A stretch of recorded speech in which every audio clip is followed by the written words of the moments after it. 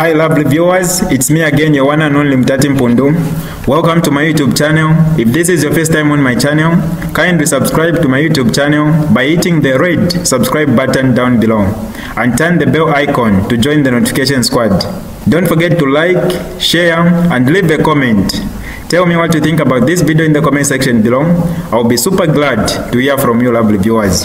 Good afternoon, everybody. Where you watching me from? Come and watch me. My name is Crystal. I'm going to speak about the one-term UPND government. I'm going to start by giving an example of Botswana. What just happened with Botswana and the just ended elections, general elections they had. In Botswana, that former president who was actually booted out yesterday, the whole time that he was in office, the only thing he did was fight his predecessor who was Ian Khama. All the time it was on Ian Khama. And coming to Zambia, if we look at the three years that UPND has been in government, President Hakainde Hichilema has been in office for three years. But the only thing that's happening is every day it is Edgar Lungu, Edgar Lungu this, Edgar Lungu that every time. Edgar Lungu is being followed, just like what happened to Ian Khama in Botswana. So this just shows that UPND, come 2026, they are also going to leave the way the government that was in power in Botswana left because of fighting Edgar Lungu here. UPND 2026 you are going. You cannot be fighting a former president for the past three years. You are just fighting him. You are fighting him, you guys are not working. Him, he worked. If we look at the country, he worked.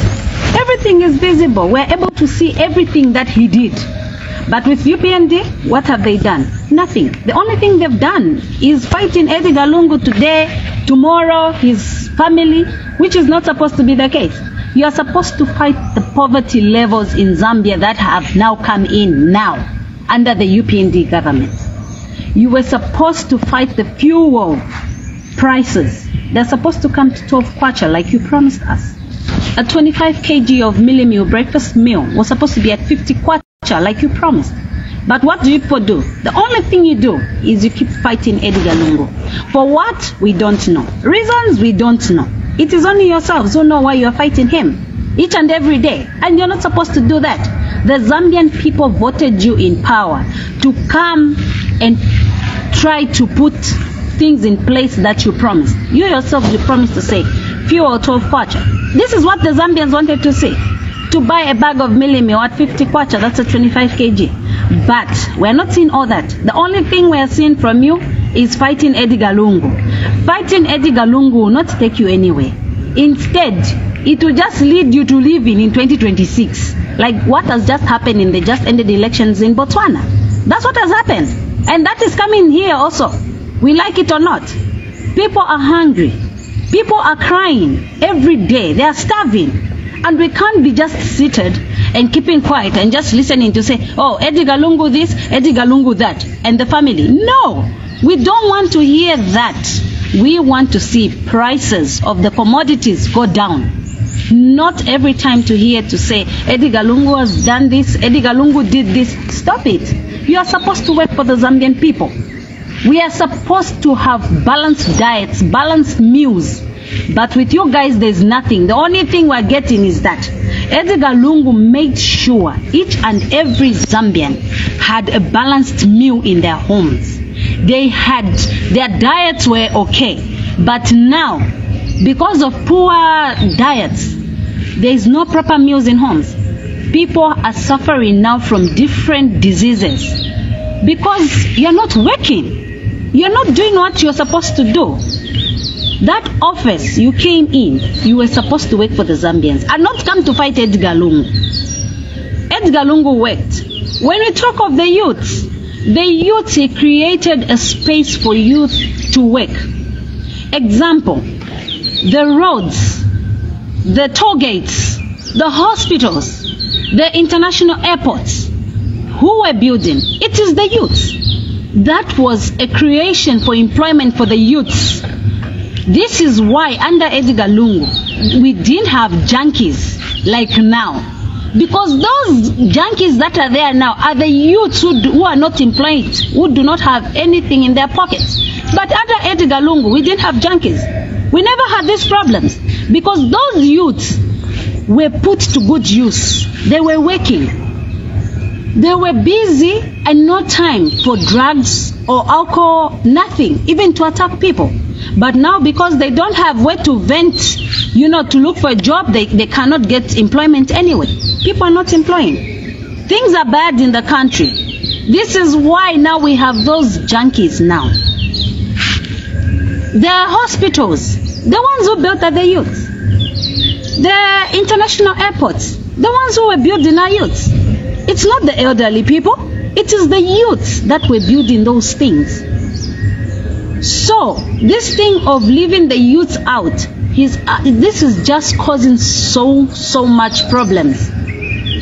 And when you talk of Eddie Lungu saying that Eddie Lungu, yeah, he was uh, a thief, he was uh, crediting too much, yes, he credited. But when he got those monies, he borrowed monies from out, those monies were put to good use. Today, we're able to even point at the things that he did with the monies. That money was put to good use. We've got modern infrastructure in our country that we never had. We've got malls, we've got roads, flyover bridges, name it. The KK International Airport. All that is the money that you keep on saying that he's borrowing, borrowing.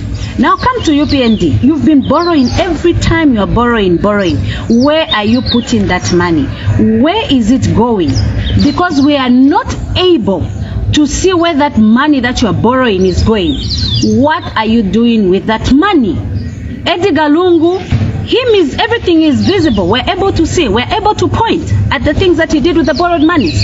But with you guys, where's the money going? Would like to know, me as a Zambian citizen, a young lady here, I would like to know where those monies you are borrowing, where are you taking that money?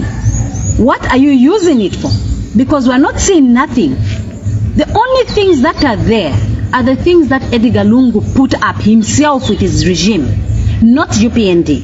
UPND have not done anything, though you keep borrowing huge amounts of money. They are huge sums. We always hear on the news.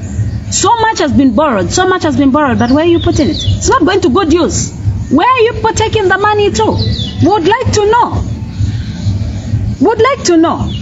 Because you people criticize Edgar Lungu, but Edgar Lungu with the monies, he did marvelous things.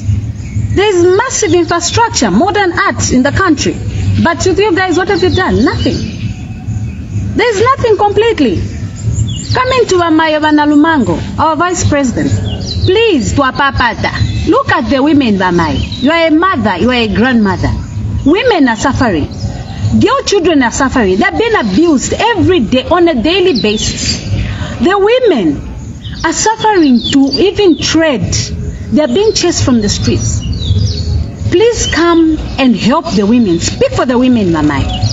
The time that we had former Vice President Bamayo Bainonge, she worked in collaboration with the President Edgar Lungu, and she made sure that the women were comfortable. Each and every woman, even the girl child, they were never abused. Everybody were comfortable for the women because women are the ones who take care of the home. Example, that market opposite Simpson. Kindly see how to open that market so that those women can go into the market and trade from there so that they can act- actually make something to buy a loaf of bread to take home for the children. A woman is one who keeps a home, Mamai. She keeps a home. So if you don't speak for the women and the girl children, then we're in trouble.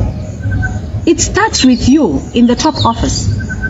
You're supposed to speak for us and the little girls out there so that this abuse that women and girl children encounter on a daily basis can come to an end. Kindly look into the women. Coming to the other thing is, you know, with a woman, a woman is the one who actually even puts that home together. So if we don't take part in trying to put a woman's like worlds or things together, it becomes very difficult.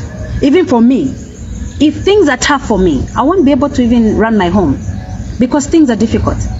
So, but if a woman is supported and has a strong base where they stand, I tell you, even this country will be on another level. So the women need to be looked after properly. Even the youths, they have to be looked after. Then coming to, you know, in Zambia, we've got different races. We've got Indians, we've got uh, whites, we've got Chinese, name them. Those who are born and bred in Zambia, come out. Let's speak. Let us not be scared. Let's come out in numbers and let's speak so that we help with the governance of this country. Let us speak when things are wrong. Let us not be hiding and complaining in the back. Let's come out in numbers and speak. We've only got one Zambia. Whether you are white, whether you are Indian, you are Chinese, you are Japanese, you are Lebanese, you are Zambian, born in Zambia, bred in Zambia. Let us come out and speak so that we also contribute to the governance system in the country. Things are going down each and every day because some of you don't want to speak out. You want to keep quiet. But if you come out also, we work together, all of us as one, things will be better for our country. Let's come out and speak. Let's not keep quiet. Let us all stand strong. 2026 is around the corner. Let's speak. We're having general elections very soon. So let us not hide. Let's come out and speak. Let's air things that we feel are not right than us keeping quiet. Let's all come out and speak. Coming to the PF leadership, I'm humbly asking the PF leadership from the top to be united and strong so that we, the grassroots, also can be strong and united. And the other thing is, we are having elections soon. We've only got a year plus. PF leadership, let us not sleep. UPND have not done anything. In the past three years, there's nothing they've done that they can point at. So, us, we are not supposed to even sit back. This is the time for us to even start working even more because we are going towards elections, general elections, which is in 2026. It's around the corner. We don't need to wait for next year, 2025, for us to wear our working shoes. We have to wear our working shoes now. We are humbly asking the PF leadership to give us direction in how we are going to start to wear our working shoes from now, between now and 2026 to the general elections. We need to be guided. A lot of people are asking everywhere. So how are we moving now? Because we've only got a year plus. We don't have answers. Some of us, example me myself, I'm asked every day. Whenever I try to take a walk this side, I go that side. People are asking me, they're asking to say, Tichita branch. mwaona tasara na ntawi ing'ono ema election. Mukamba Bwanji. I only respond to say we're waiting for direction from the top leadership. So please, the top leadership, I'm urging and asking you to kindly give us direction in the way we should move. We thank Grassroots Media so, so much for being a mouthpiece for many Zambians. And may God always continue blessing Grassroots and their uh, associates all the time. Thank you so much. Alright, that's all right for you today, lovely viewers. If you did enjoy the video, please don't forget to leave a comment in the comment section below. Tell me what you think about the video you just watched in the comment section below. I'll be super glad to hear from you, lovely viewers. Once again, I go by the name of Mtati Pondum. I love you, peace, I gotta go.